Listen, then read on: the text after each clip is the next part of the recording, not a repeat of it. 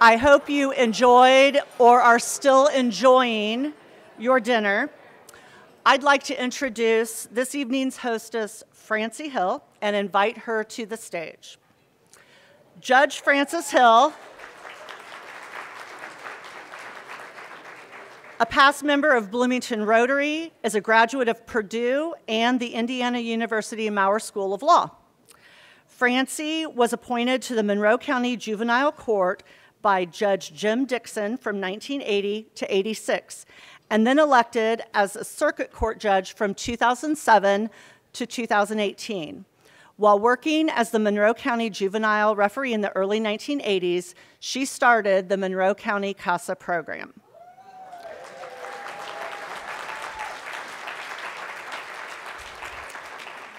I would like to take just a moment to talk about our dessert.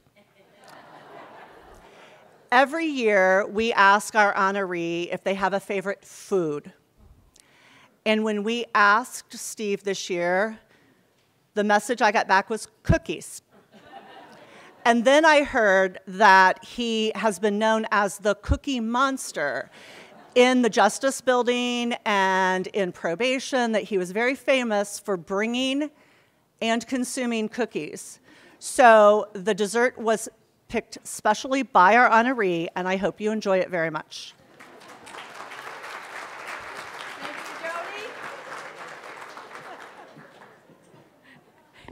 Bring me the cookies. Boy, tonight, Steve, you're in trouble. This will be so much fun, but my husband did remind me that this is a toast and not a roast. So it's going to have to be really polite, so I'll try to stick to the script. As a past Rotarian and the daughter of a Rotarian, I am so proud of the three Rotary clubs that come together to do so much good in this community and tonight have worked together in heart, spirit, and enthusiasm to put this program together in which we are honoring Judge Steve Galvin. I have to start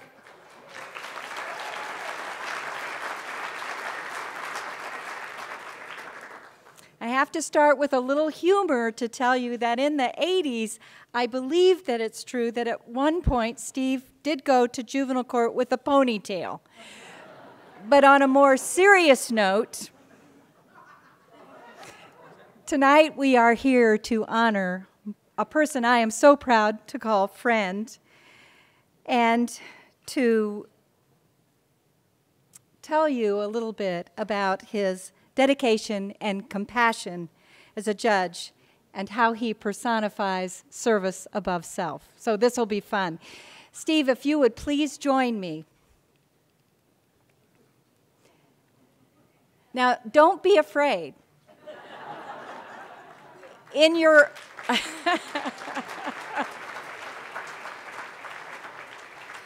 In your own words, Steve, this will be just peachy. I would see him on a day when he had hundreds of cases, and I'd say, How are you? And he'd say, Just peachy. Right there in that glamorous chair.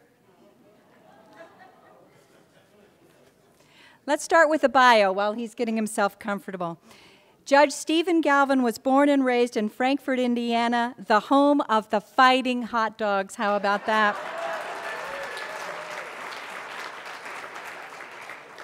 He earned a degree in history and speech from Wabash College and a law degree from IU. Steve has held more legal jobs than a Dalmatian has spots. He served as a deputy public defender, deputy prosecuting attorney, attorney for the Monroe County Council, commissioners, auditor, and sheriff, and attorney for the Monroe County Office of Family and Children. In 2005, he was elected to the Monroe Circuit Court, and the following year, he took over the juvenile court hearing the delinquency cases, child abuse and neglect cases, which are called CHINS cases, and also taking on major civil litigation as a special judge. Judge Galvin was chair of the State Juvenile Judges Bench Book Committee for several years, and locally he has served on the boards of Martha's House, Hoosier Honor Flight, and the Youth Services Board.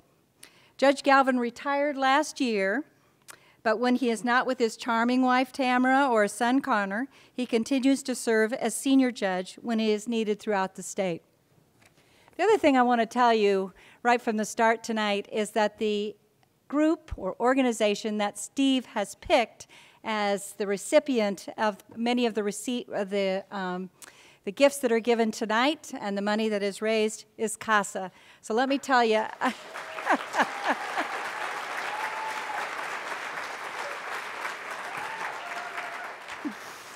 Judge Galvin has chosen to benefit the CASA organization that he has supported and helped to prosper through his entire career. CASA stands for Court Appointed Special Advocates. The Monroe County CASA program recruits, trains, and supervises volunteers to investigate and present the necessary facts about each abused or neglected child in the juvenile court and to advocate for their safety and best interest.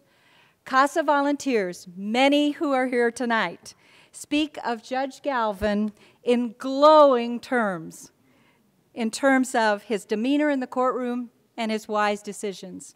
Volunteer advocacy is based on the belief that all children are entitled to a safe and permanent home, and that is the goal of CASA. I would, before I turn over to our first toaster, let me just give a big thanks and shout out to our sponsors. I ask you to take a moment to look at your program and to acknowledge the Toast sponsors, and in the words of Sylvia McNair last year, buy stuff from them. Use their services. They make it possible for Rotary to do the good work in our community that you have all come to expect. In particular, I would like to acknowledge the extraordinary support of IMA Healthcare Foundation, which has been a platinum sponsor for all nine toasts. Thank you so much.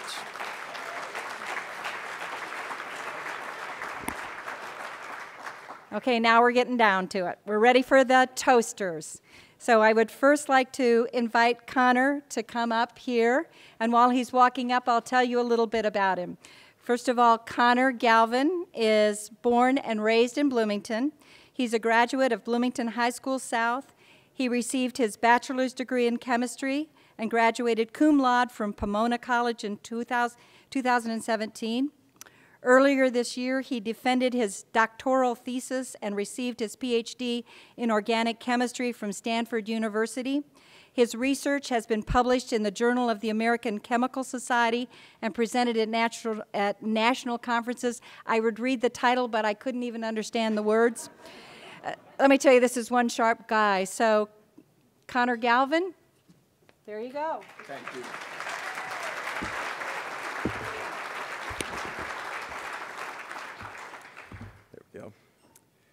Well, thank you, everybody, for being here tonight. It's my great honor to provide the first of the toasts in honor of Judge Galvin that you're going to hear tonight. And uh, in preparing this toast, someone told me, someone, that there's really only one word to describe the Honorable Judge Stephen Galvin genius.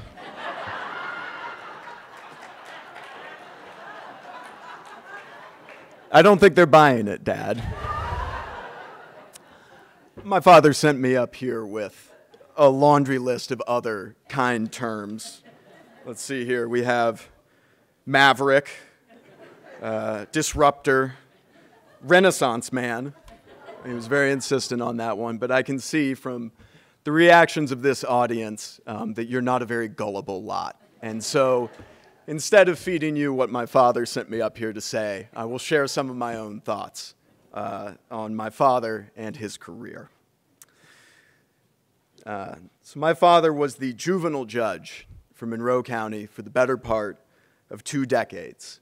And the work he completed in that time was reflective of the care he had for children, especially the most vulnerable amongst them. His work, both on and off the bench, reflects this desire to make the world a better, a more caring, a more welcoming, and warmer place for the young people that are in it. And I was introduced to this attitude of his from a very young age and the care that he has for the young people. When I was born in 1995, the very first time my father held me and I was only minutes old, and his first words to me, his only son, were 18 and you're out of here.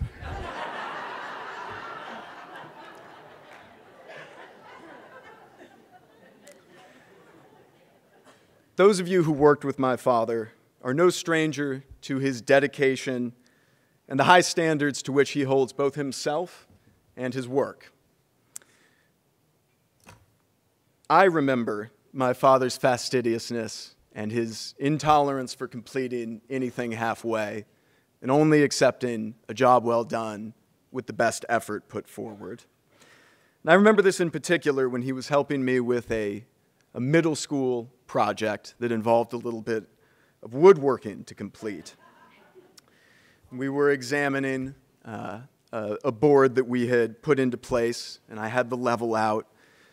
And I remarked that it looks like the left side is too low. And my father scoffed at me and said, No, the right side is too high.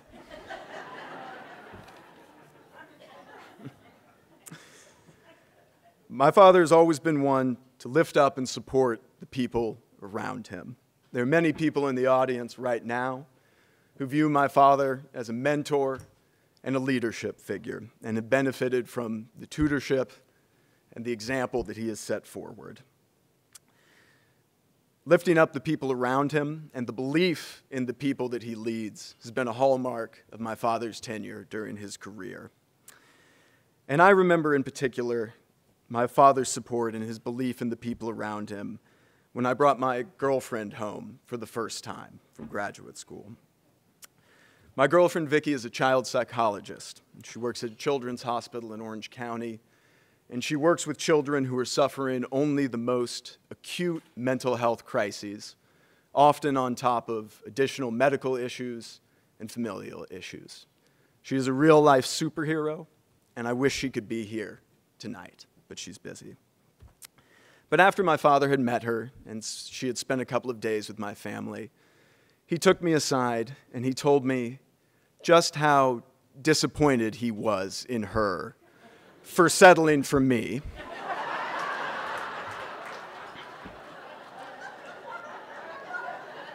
and that surely someone as talented as she is could do much better. and that I was batting way, way out of my league. So, in all seriousness, please grab your glasses and join me in toasting Judge Galvin. A fixture in this community, both on and off the bench, a leader whose moral compass has always pointed north, and a man I'm extraordinarily proud to call my dad.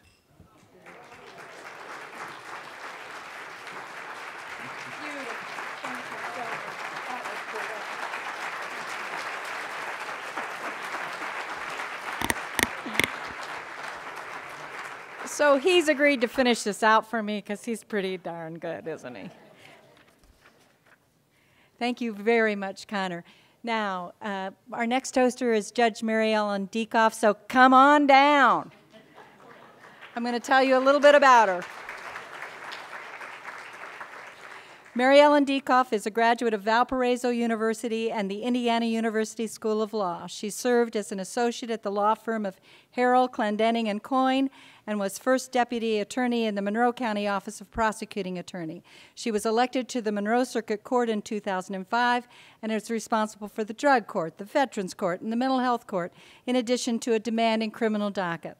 Like our honoree, Mary Ellen Diekhoff is one hard working judge.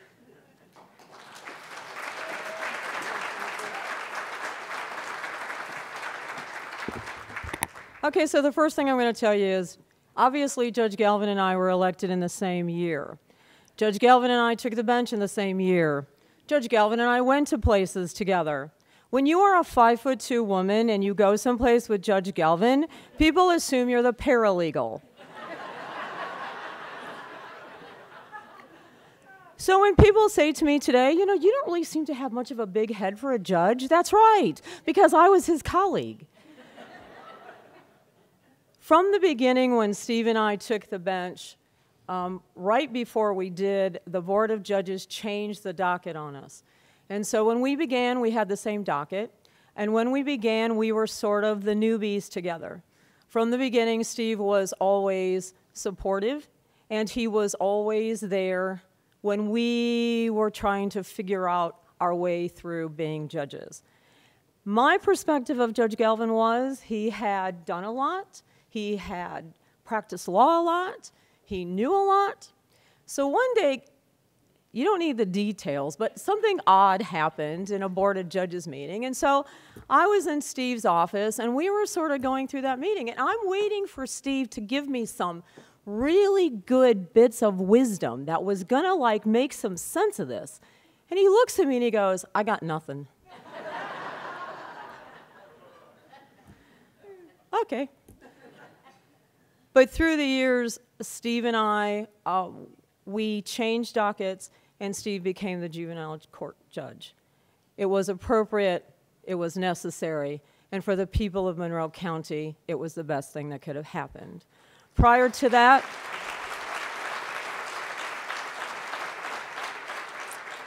prior to that, there was Judge Taliaferro, who was a good friend of Steve's and a good friend of mine.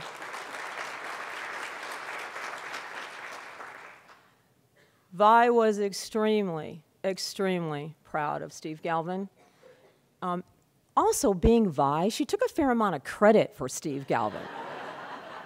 I mean, she did. But one day after Steve had been on the bench for a while doing juvenile cases, Vi and I were talking, and Vi looked at me and she said, You know what's best about him? And I said, What's that? And she said, He gets it. And I said, And what do you mean? And she said, He gets why we do what we do. And it's true. I tell my law students that the practice of law is about people. It will always be about people. People make laws, people break laws, people serve laws, people do all kinds of things with laws, but they are people. Steve Galvin never forgot that never forgot that the people he was dealing with in whatever capacity were people. And the people that needed him and his judgment, he was always there for. He is one of the most hardworking, dedicated, committed people I have ever known.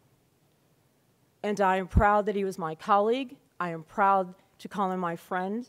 And I'm honored to have been here tonight to speak on his behalf.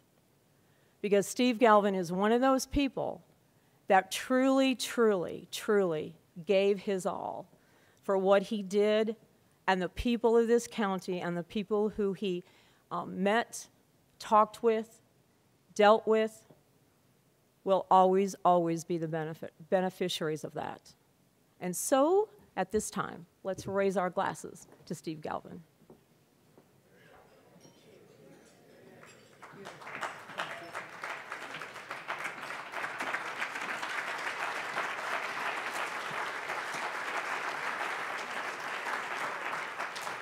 We have a very nice treat tonight. District Governor, Rotary District Governor Shannon K. O'Toole will make a special presentation.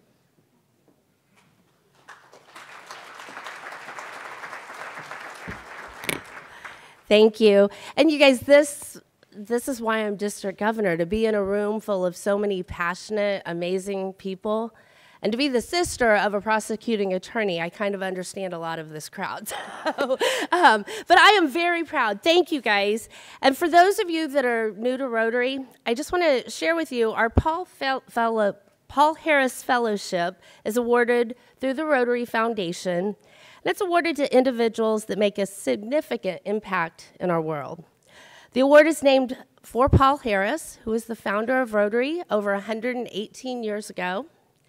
Rotary has grown and now has over 1.4 million Rotarians worldwide in over 200 countries, and there's over 46,000 clubs.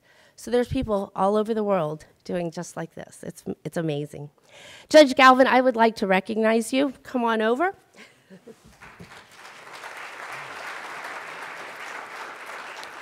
As a Paul Harris Fellow, you stand with notables such as Mother Teresa, Walt Disney, Pearl Bailey, Nelson Mandela, President Carter, and numerous people in the room. So, would all the Paul Harris Fellows stand up, please?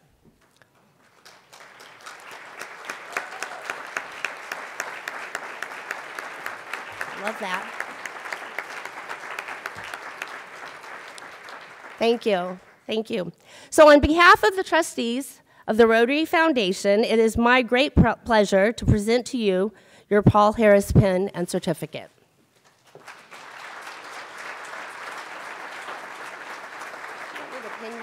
If you would like, that would be fine. Awesome. Great voice. Take your time.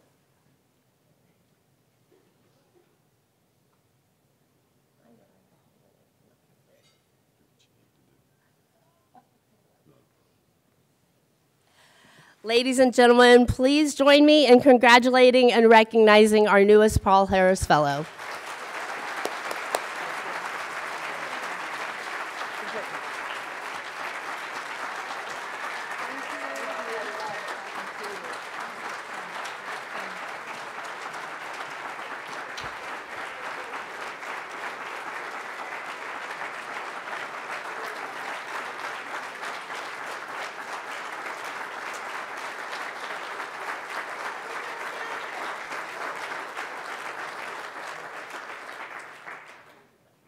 Have one more treat, not a toaster, but a presenter. It's retired Judge Najam from the Court of Appeals. And I think you might know about this, but now a lot of other people are going to know about it. Come on.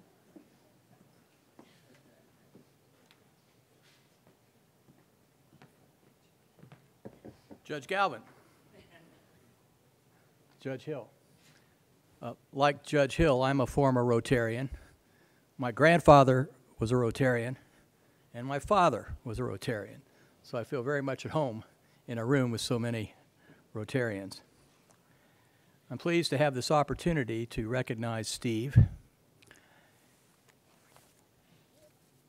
When I learned that Steve was to be honored by the Bloomington Rotary Clubs, I contacted our Chief Justice, Loretta Rush, and gave her all the information about it and asked if she could attend, and if she could not attend, to please send a letter that could be read at tonight's event. Sometime later, I received in my inbox a document that appeared to be a letter from the Chief Justice of Indiana addressed to Judge Galvin. But you never know something on the internet, whether it's true or not. So, before I can read this letter, it must first be authenticated. And the only person here who can authenticate the letter is tonight's honoree. So, Judge Galvin, would you please raise your right hand? Do you swear or affirm that the testimony you're about to give will be the truth, the whole truth, and nothing but the truth, so help you God? I do. Please state your name. Steve Galvin. Are you one and the same Judge Steve Galvin who's being honored tonight by the Bloomington Rotary Clubs? Did you receive a letter from the Chief Justice of Indiana dated September 21, 2023, commending you for your service as a judge? I did. And do you have an original copy of that letter in your files? I've marked Exhibit A.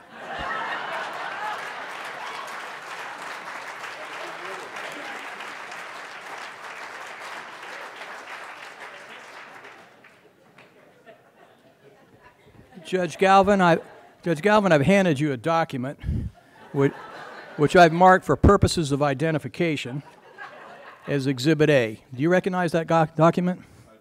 Is it a true and complete document, uh, a true and complete copy of the original which you have in your own files? It is. Very good.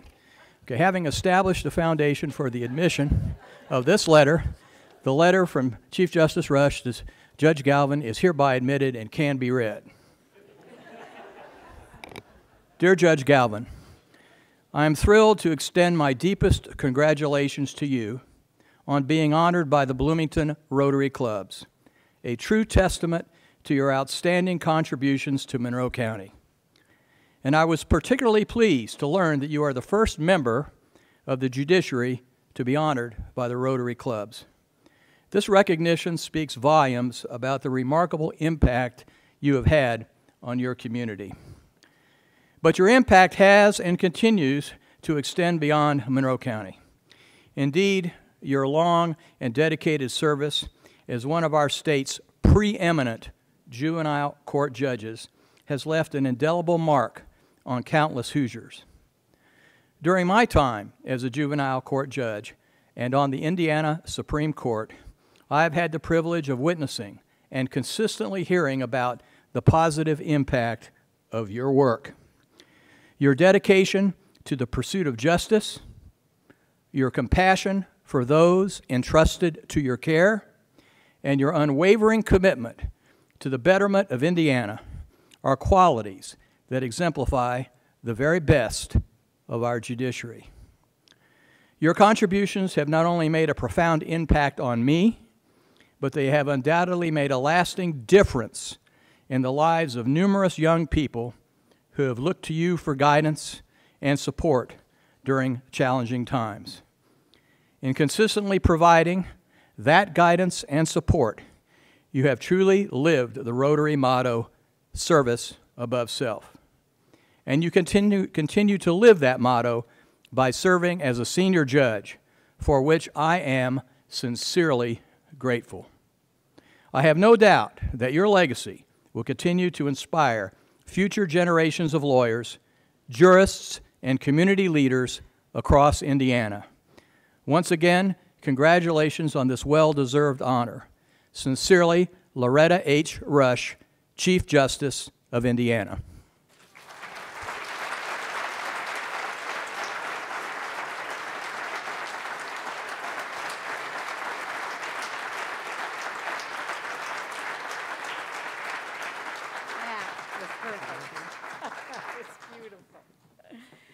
The third toaster, are you getting a big head there over?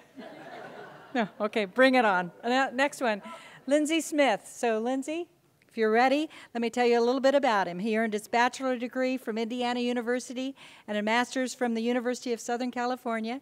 He joined the U.S. Army on the day of his graduation from IU and served a full military career in Germany, Panama, Afghanistan, and the U.S. Following his retirement from the Army in 1995, Lindsay returned to Bloomington.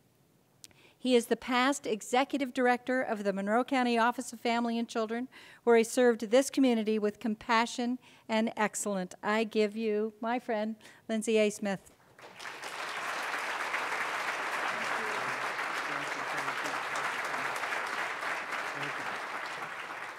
Thank you all so much. It is so great to be here tonight. And uh, Judge, which I normally refer to him as Steve because I've known him for a very long time, but uh, Judge, uh, I tell you, I thought there was going to be just a few of your close friends here tonight. You got half of Bloomington here. I tell you? So, but that's a great testament to you and all the great things that you've done. Francie, thank you so much for that introduction.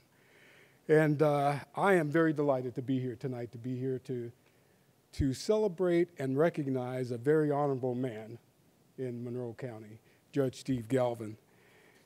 You've heard Francie announce that uh, for the last 12 years, I shouldn't say the last 12 years, but 12 years that uh, I was the executive director of the Office of Family and Children.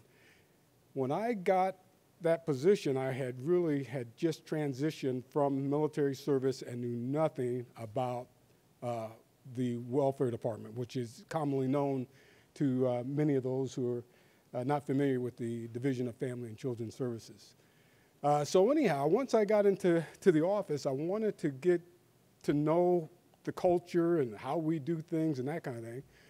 And uh, of course, uh, being new and being having transitioned from the military, the staff was a little bit reluctant to meet with me. I have no idea why. I was really a good guy, wasn't I? so anyhow, I ended up uh, getting actually close to uh, Steve as my. He was the county attorney for the Office of Family and Children, and during that time, we had a lot of uh, personal talks after the uh, hours that the uh, majority of the employees had left the office.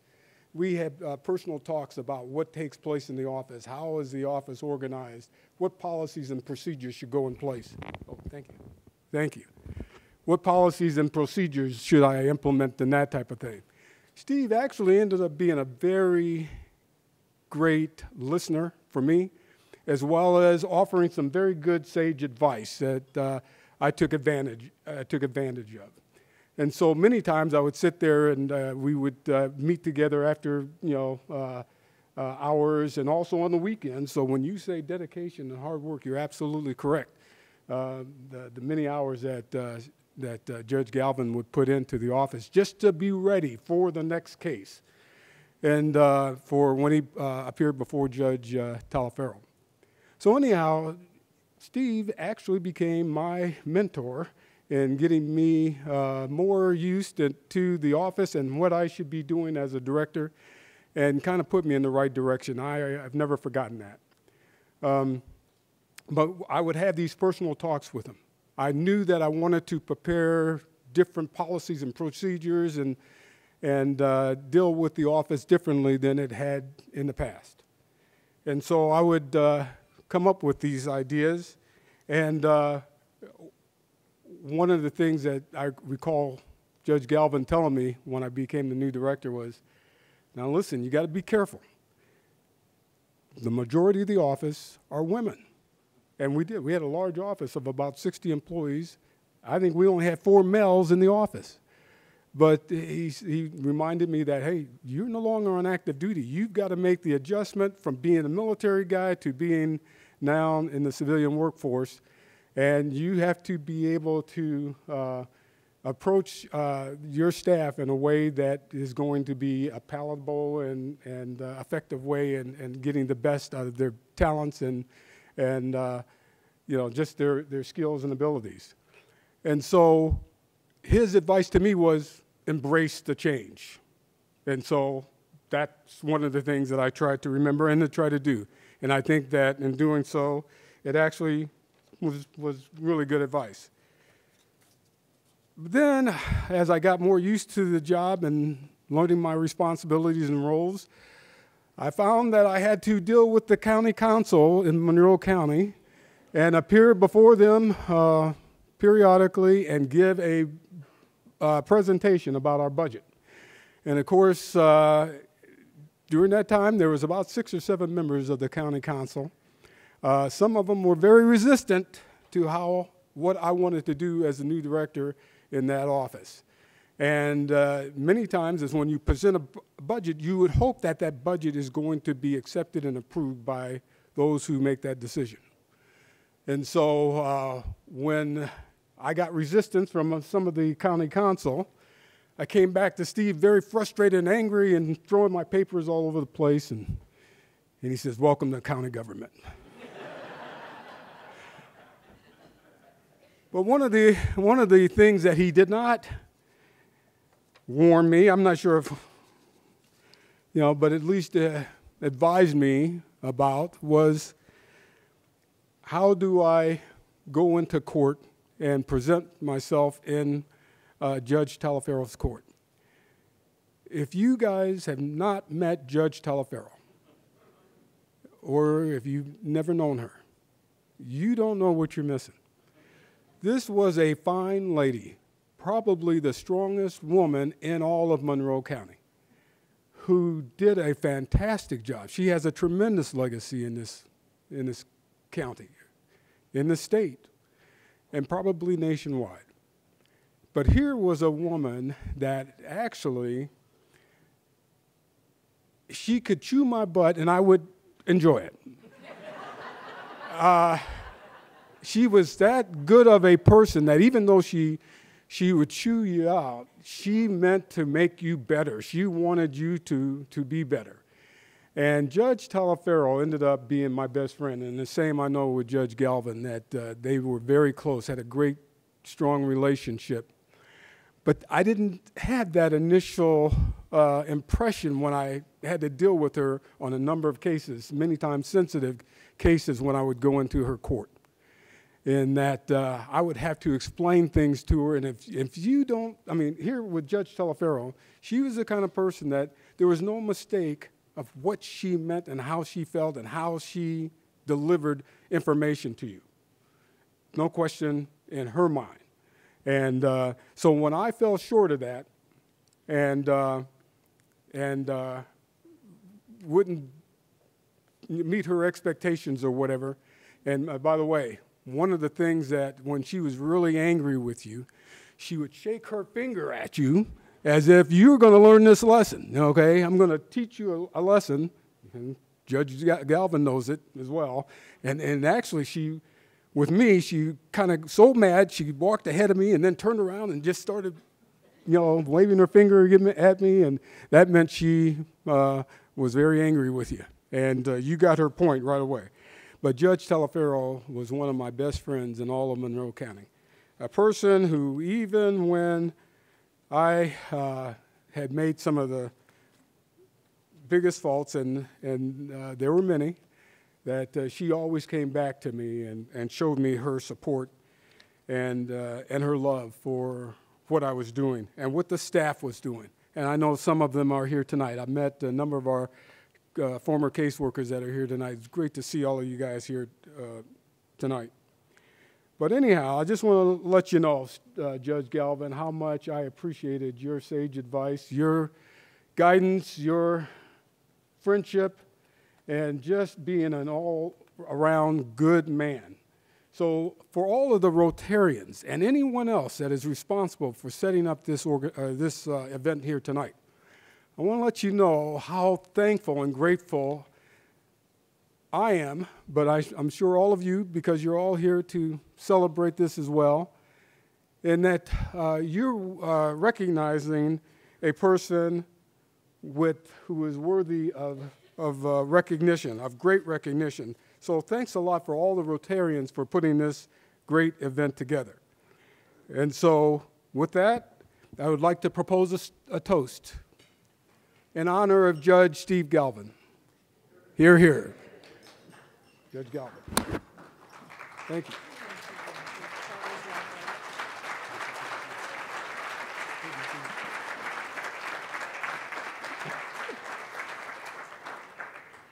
The next toaster is Kristen Bechet, and I see that she's on her way. Let me tell you just a little bit about this amazing woman.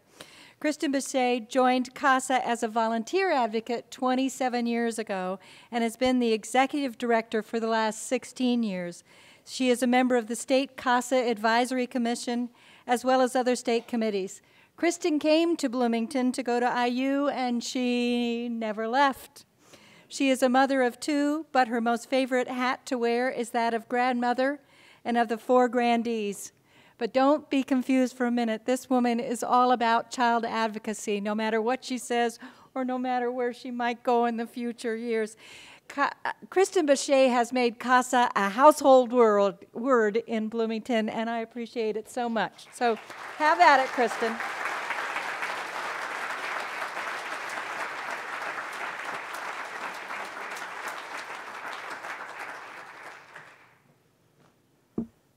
When I was first told that Judge Galvin's philanthropy of choice for tonight's beneficiary was CASA, it absolutely made no surprise to me. Judge Galvin has been the most fervent and constant advocate and cheerleader of the CASA program than anyone else in the community. Both statewide, locally, publicly, and privately, he has been there to cheer us on. It will be no surprise to me if CASA is part of the legacy he leaves behind. I was given five minutes to talk to you tonight. To sum up 27 years of knowing Judge Galvin, first as an attorney and then as our judge. And I thought, that's impossible. But I came up with a story, true story. Some years ago, a 12 year old girl came into the care of his court due to severe abuse and neglect by her parents. Her parents' rights were soon terminated, making her an official orphan. This young woman was severely mentally ill, had severe mental health issues. She was violent, kicking out windows of police cars. She was harmful to herself and she was harmful to others. She ran away often. Until she was 18, she was in and out of residential treatment facilities, more often in than out. And she was brought to court in shackles. She was a petite girl. So, 13, 14 year old, walking into court in shackles and escorted by two deputy sheriffs. Judge Galvin never gave up on her. He always gave her the forum to speak, to let him know what she wanted him to know. He always showed her respect, always kindness. And I probably shouldn't say this, but I think he tried to parent her from the bench. When she turned 18, the case was closed and she was allowed to walk away. I'll never forget the very last day in court with this young woman. And as she walked out and the door closed behind her, I looked at Judge Galvin, and he had the most worried and concerned look on his face. We all sat there in silence for a few minutes, not knowing what to think. Fast forward 12 to 18 months later, I was outside of Judge Galvin's courtroom waiting for a hearing, and this very same young woman comes up to me and asks if I thought she'd be allowed to talk to Judge Galvin. We waited for the hearing to end, and we went in together.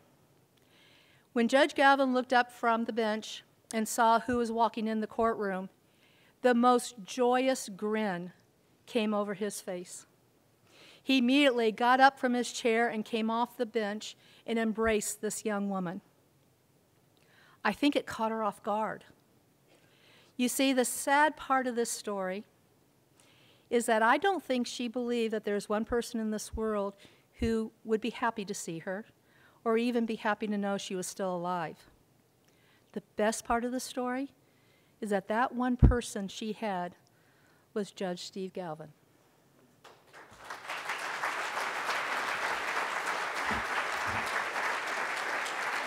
So, once again, raise your glasses and join me to toast the very honorable Steve Galvin.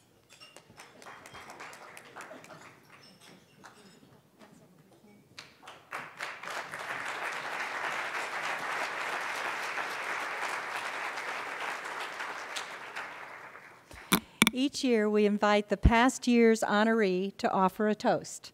I am pleased to introduce Gladys Devane, community activist, actress, former IU faculty, and all round amazing person. So, Gladys, if you'll make your way to the stage, we're ready for you.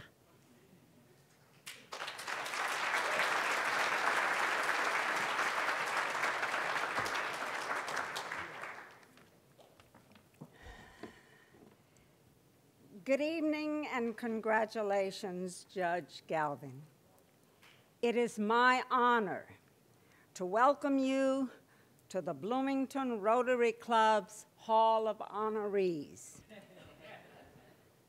where the motto is service above self. Service.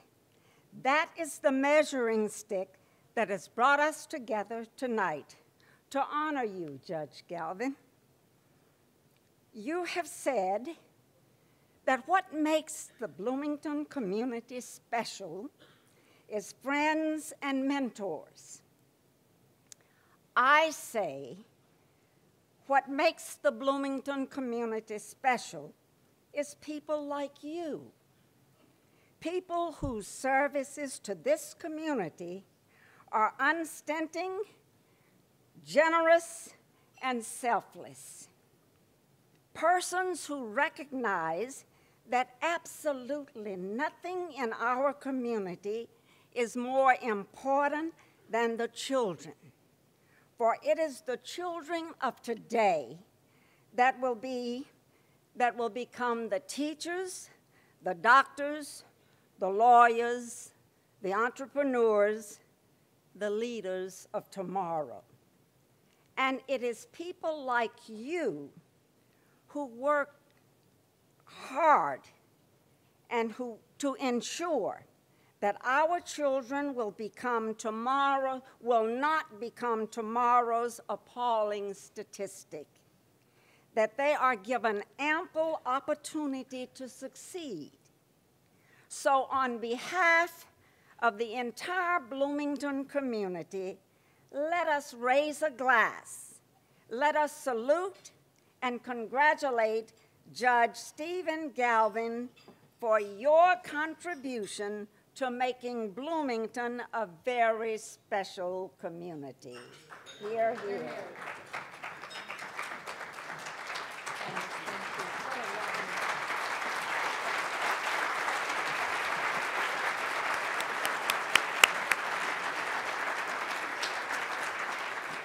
It's coming, Steve.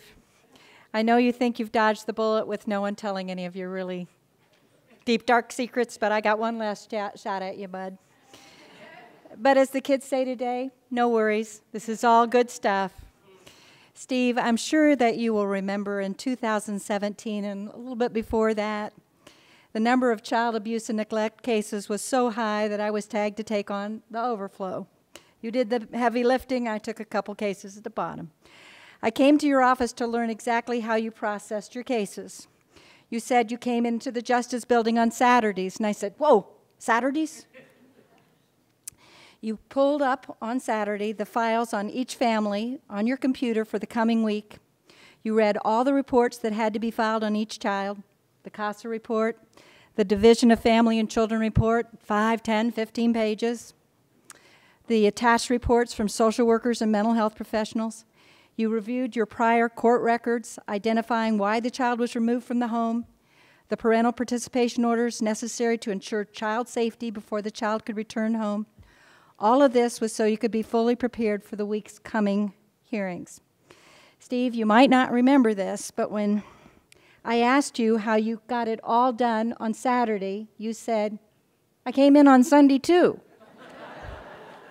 so, ladies and gentlemen, I give you one last time the incredible Judge Steve Galvin, Service Above Self. So, if you'll all raise a toast.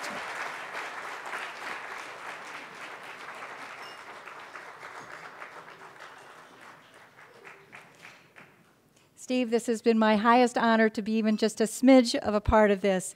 In closing, we appreciate your support of the three Bloomington Rotary Clubs that come together to put this on, CASA of Monroe County.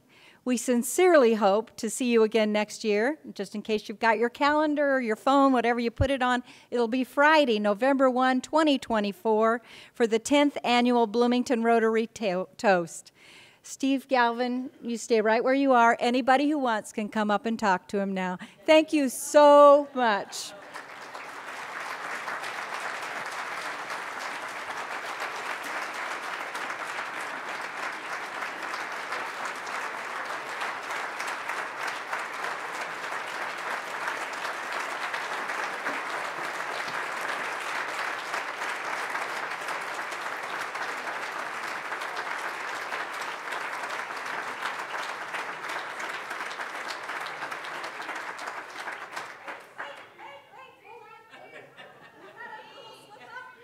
Steve is entitled to speak.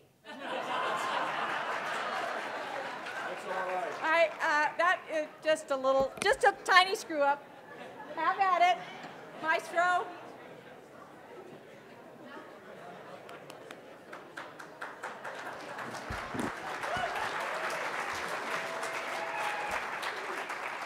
Oh, good evening. Oh, this is, uh, wow, I'm almost speechless. And I, as anybody who knows me, I'm never speechless. Uh, this is truly an, an honor and a privilege to be here tonight, um, to be named with some of the past honorees, Bob Hamill, Charlotte Zietlow, Zietlow, who called me and said, would you be willing to do this? Um, and I said, I don't know if that's my thing. And Charlotte said, they'll give the money to CASA. And I said, all right, I'm in. Uh, they gave me five to 15 minutes to thank all those who truly need, I need to thank tonight. I have eight pages. I heard that groan. I'm, I'm not going to subject you to that, but I do have some, I have to, I must thank certain people for certain things. I want to start by thanking all three Rotary clubs. I've always admired your commitment to community service, and I've always appreciated everything that you do for this community. But you've given me a great gift tonight, a very great gift, to be able to celebrate with my friends, with my family, with this community. I, I mean this from the heart to all of you. Thank you. Thank you to the Rotary for doing this. This is, this is great. This is fantastic. And I especially want to note Cindy York and Jody Hoagland, who put so much effort into this. Thank you. You're the best.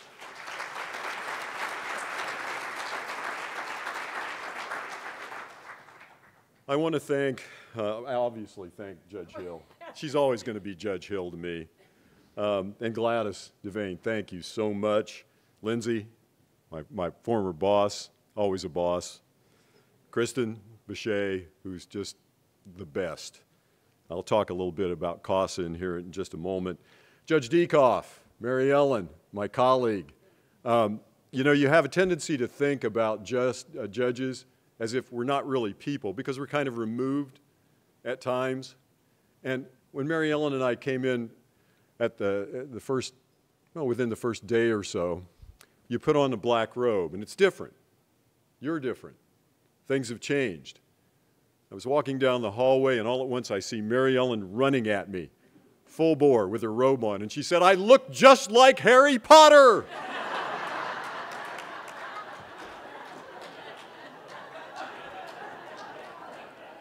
Just let me tell you, that woman got us through COVID. She was our presiding judge. She worked tirelessly. She deserves it.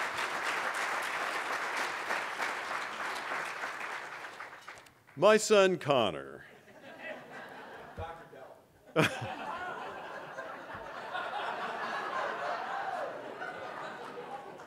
For all of you who know me, I have, for the last 28 years, told you what an amazing young man Connor is. That he's, uh, he was into catching snakes when he was young, and that he was an all state wrestler, and that he took up ballroom dancing, and those pictures of him climbing are from El Capitan. Um, somewhat amazing. I lied.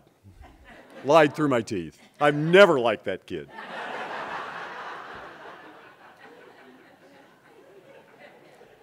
He has always been able to outsmart me, outthink me, outmaneuver me. Thank God for my wife.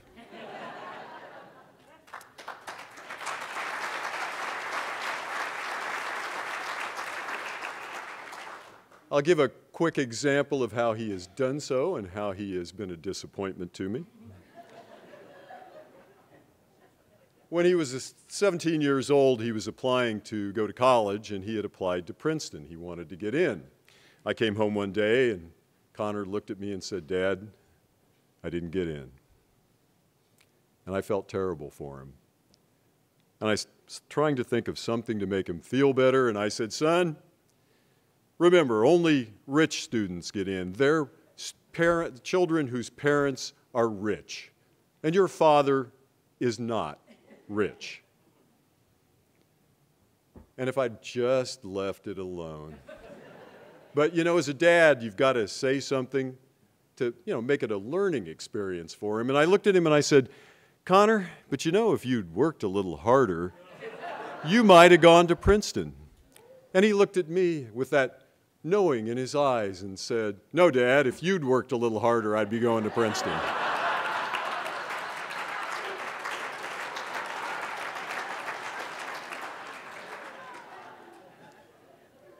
all joking aside, um, I've never, I don't think any man's ever had a, a better son than that one.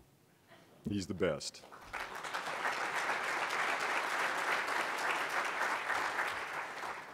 I also want to thank all of those who've been a part of the Monroe County Juvenile Court. Um, I think you get the gist of what it means, in some sense, to do what those people do every day. You have to deal with the suffering of children.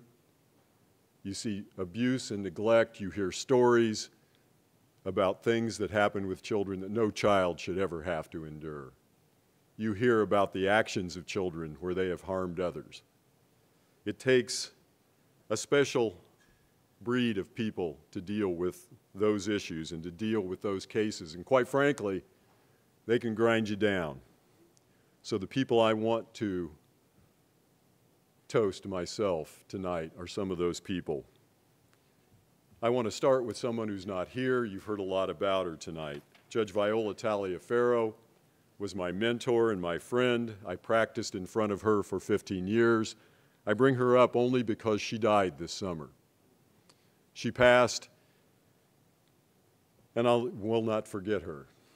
Um, when she was a force of nature, those who knew her uh, an outstanding person, and when she decided to retire, she more or less told me, You're going to run for judge.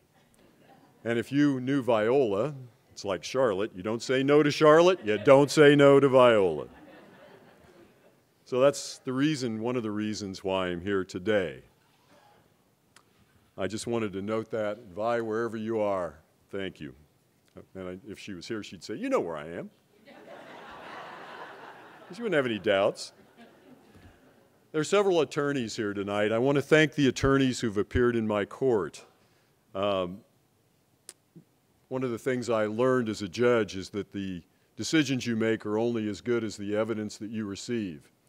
And when I came out of law school in 1981, I was fortunate enough to have mentors who taught me things such as how to try cases, but more importantly, they taught me that it's a difficult thing to assume the burden of others, to do your job, to do your job for your clients, to protect their property, to protect their families.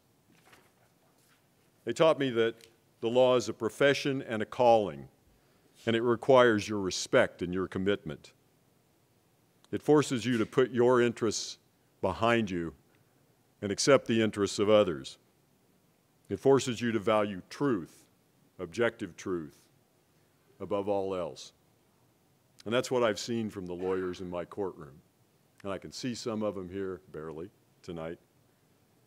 And I want you to know I thank you for everything you've done. I know we had, that includes the public defenders, it includes the general members of the bar, it includes the prosecuting attorney's office. And I want to note, Rich Hanson's here. Rich, where are you? Rich, that man was my prosecutor for the full time when I was a, a, a uh, judge. Rich Hanson is a special person, and Rich is special because he's not like other prosecutors who look to see what they can do to limit children, to harm children. He has one thought in his mind, and that's what he can do to make things better. During the time that we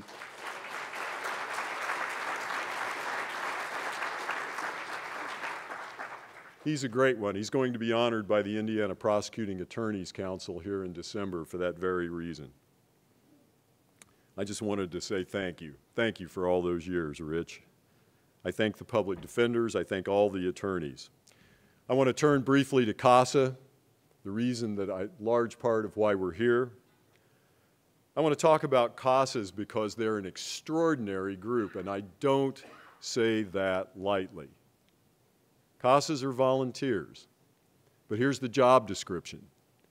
You're going to come in, you're not a lawyer, you're going to go to court you're going to take on the mantle of giving voice to children who have no voice. You're going to cross examine witnesses. You're going to be a party. You're going to have to stand up and protect that child. Now, how many people want to sign up for that one? Do they? Well, I can tell you, we got a lot of them in this room. I'd like the CASAs to stand. Everybody who's a CASA here. Please.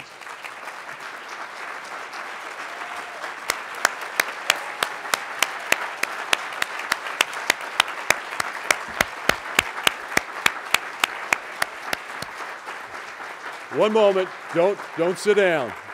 Don't sit down. You don't get off that easy. Hey, I can still do this. I'm not a judge anymore, you know.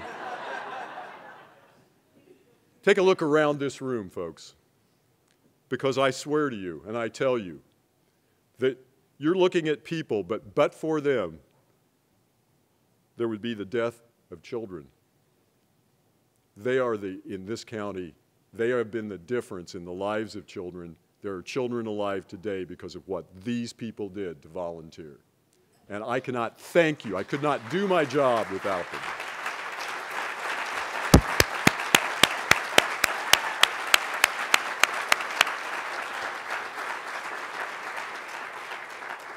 I thank you all for this community. Be seated.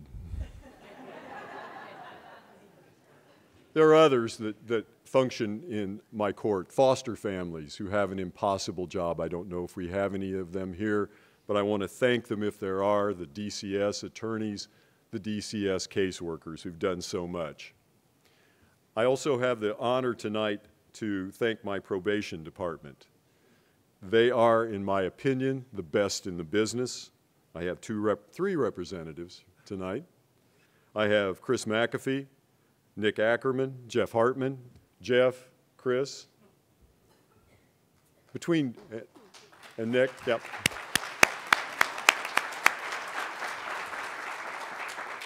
These people have a statewide reputation. They get called, they're among the first people to get called when there's some new program, something that needs to be done in the state. This isn't just my opinion, all right? This is a, the opinion of the Indiana uh, court administration.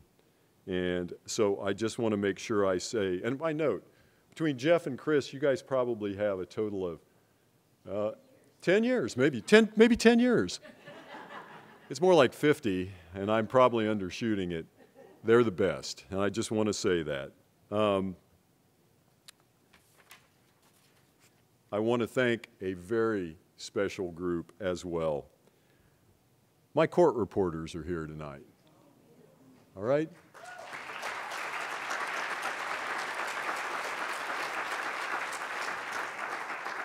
They wouldn't have come if they knew I was going to do this. Charity Sullivan, Amy Erler, Kristen Goffinet, Connie Cron. I'd like you to stand up. Come on.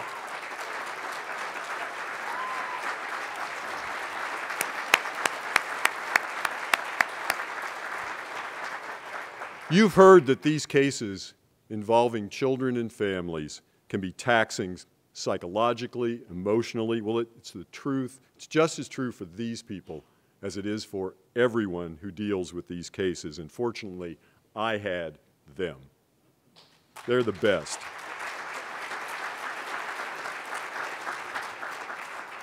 They have grit. Oh, you sit down. They don't follow, they never followed my orders. They have grit, determination, and compassion.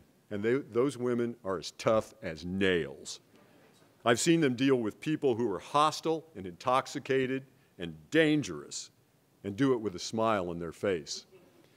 And I've seen them cry tears when they'd have to hear a story about something that happened with a child that was horrid. I could not have had better people to work with. I want to single out somebody here because it is special. Connie Cron was with me throughout the entire time that I was a judge. She was an employee of Monroe County for almost 45 years. She knows the law better than half the attorneys.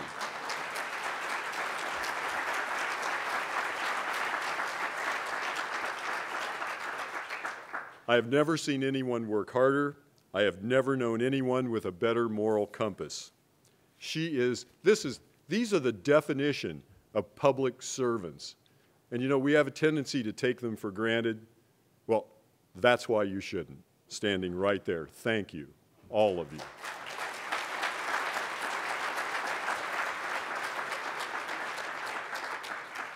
Is Judge Harvey here tonight? I didn't see Holly. Holly, where are you? Judge Harvey. Judge Harvey took over my caseload. I just wanted to point out thank you because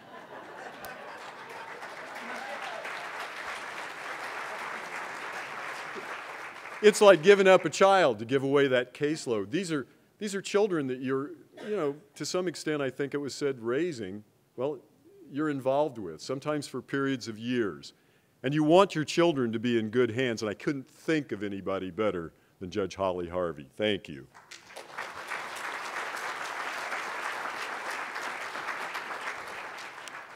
Um, I want to thank everyone who's my friend. It's tough for judges. I think Judge Najam would say this, Judge Stafford, uh, Judge, uh, uh, Judge Salzmann. I want to make sure I'd hit everybody, Judge Diekhoff.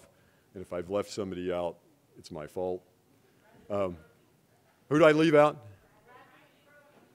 Krothe, Judge Krothe. Oh my God, she's got my desk. Kara, I'm sorry. Judge Krothe, I apologize. Brad, Judge Bradley, I left Judge Bradley out. Oh my gosh. All right, well, see, this is what happens. My colleagues are the best, and I've been so fortunate in, in having those coll- colleagues. I was about to say that it's tough for judges to have friends, and I want to thank all my friends who are here uh, who aren't necessarily involved in the system. We have the writers table over here to my right.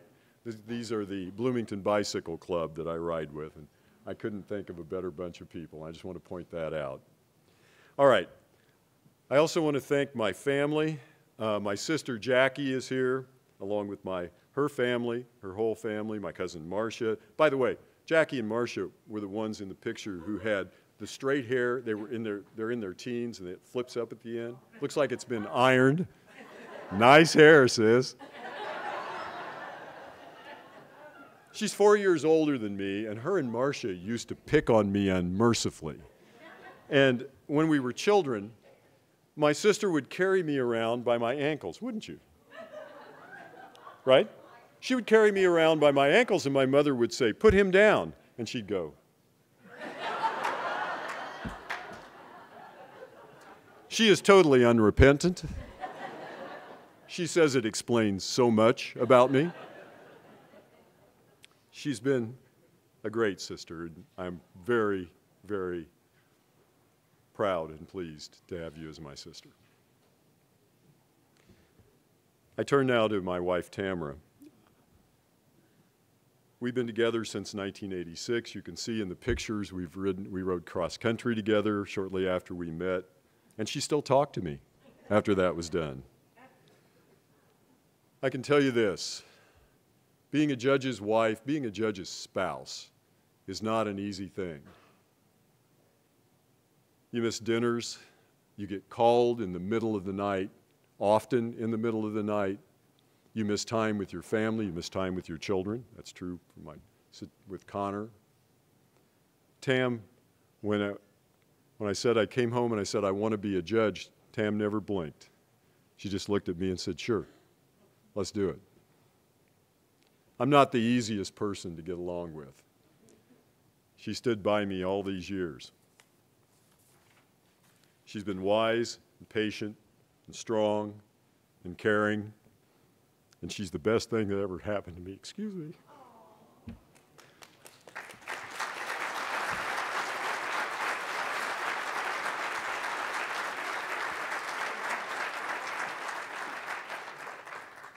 So, I have one final thing to do. I have a toast of my own. I came to Bloomington in 1978 with the intent of going to law school and leaving. Like so many of you, I stayed. But I stayed because of this community, this unique community, a community that cares deeply about others, a community that values service to others, a community that shows that commitment every single day a community of which I am overwhelmingly proud to be a member. And as I look around this room, I see that community. So now, I have a toast. To this community and to you, to all of you, I toast you. Thank you so much. Don't. Don't, go away.